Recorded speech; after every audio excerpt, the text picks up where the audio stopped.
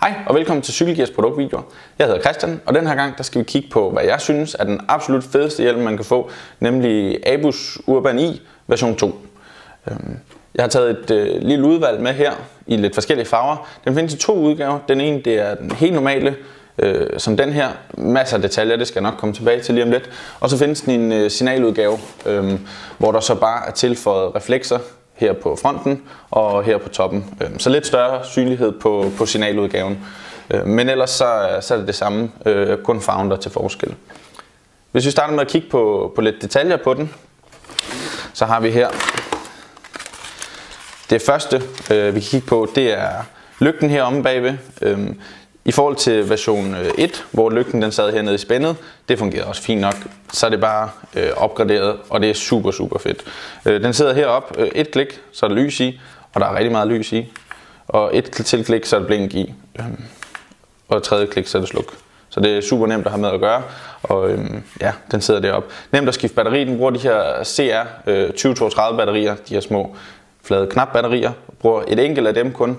Øh, jeg har kørt med mit, min hjelm i ja, siden den udkom for en, omkring halvandet år siden, øhm, og den skal til at skiftes nu. Øhm, men jeg kører også rigtig, rigtig, rigtig meget med den. Øhm, så, så ja, et år, hvis man kører sindssygt meget, øh, to år, hvis man øh, ikke kører ret meget. Så det er, det er ikke en bekostelig affære at bruge det batteri.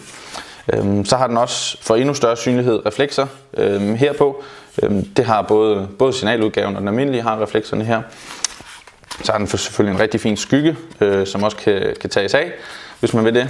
Øhm, så har den nemt øh, justerspænde, som ja, bare drejer den ene vej, og så den anden vej. Og det er, jamen det er, det er simpelthen så nemt og, og blødt, at øh, det, det, det stort set finder sig til rette, når man, øh, når man tager hjelmen på hovedet.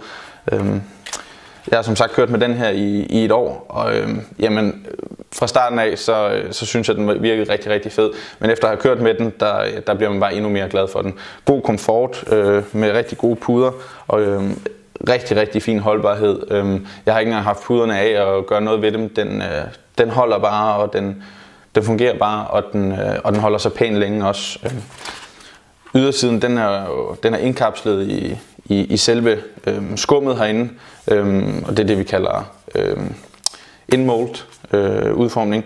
Øh, og det gør så, at hjelmen den også bare holder sig pæn og lækker i rigtig lang tid, og det vil man også gerne. Øhm, den holder selvfølgelig også en, en høj sikkerhed i lang tid, fordi det der sker, det er, at det her skum herinde, det er stille og roligt vil suge fugt til sig. Øhm, og det vil så betyde, at på et tidspunkt, så, så er det ikke modstandsdygtigt nok over for slag. Men øh, det er der altså rigtig, rigtig lang tid til med, med, med en hjelm som den her.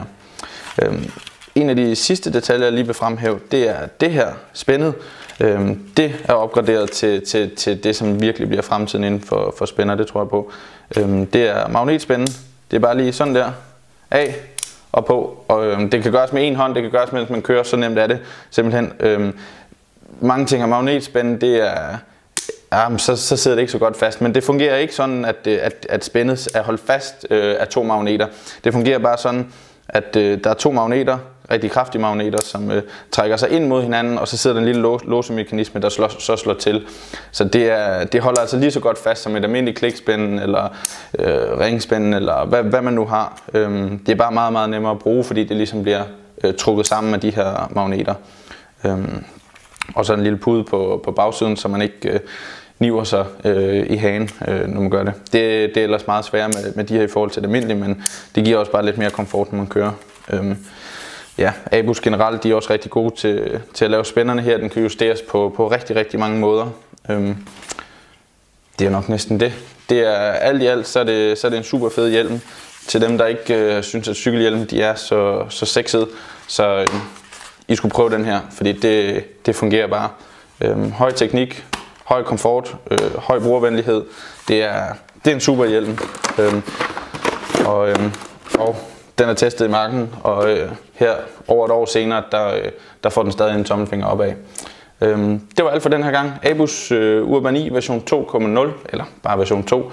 Håber I kunne lide det, og øhm, der er selvfølgelig links til varen i beskrivelsen, og øhm, ellers så, så håber vi, at vi giver den en, en tommelfinger op. Det var alt for denne gang. Hej.